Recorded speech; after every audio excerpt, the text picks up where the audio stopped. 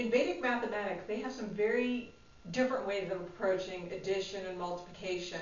And one of the tools that's just kind of foundational in order to kind of work with some of the multiplication and division and also checking that work is doing what's called a digit sum. Digits are the single um, figure numbers 1, 2, 3, 4, 5, 6, 7, 8, 9, and also 0. And sum means addition.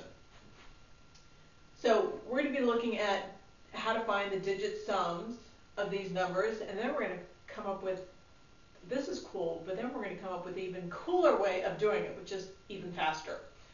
So just the basic thing, digit sum, and I'm not putting an equal sign because it's not equal to 7, but basically the digit sum just means add the digits, 6 plus 1. So the digit sum is 7. The digit sum of 23, add the digits, 2 plus 3, 5. The digit sum of 742, 7 plus 4 is 11. 11 plus 2 is 13. And the digit sum of 13 is 1 plus 3, 4.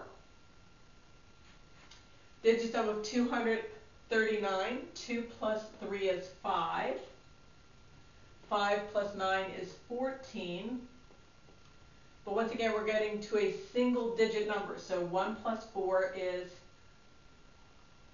5. So 239, those digits add up to 5. Yikes! Big number. Once again, nice thing about Vedic mathematics is there's usually some way to even compress it, do a digital compression, and make it even easier and faster. So I'll do it the long way just so you believe me when we get to the shortcut. So 5 plus 2 is 7. Here's another 7. 7 plus 7 is 14.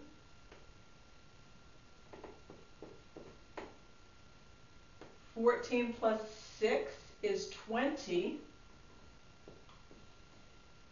And once again, we're getting to one number, a single digit number. So two plus zero is two.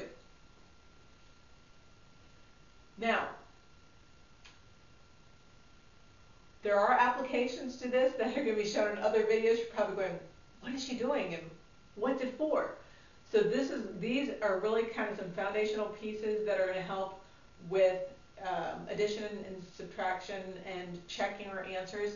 And there's other applications later, but we're just kind of making sure you have this piece down because this is going to show up and it's going to be really helpful to know how to do it.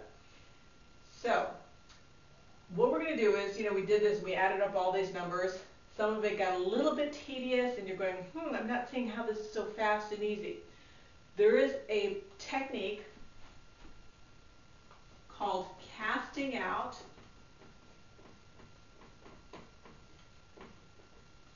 the nines.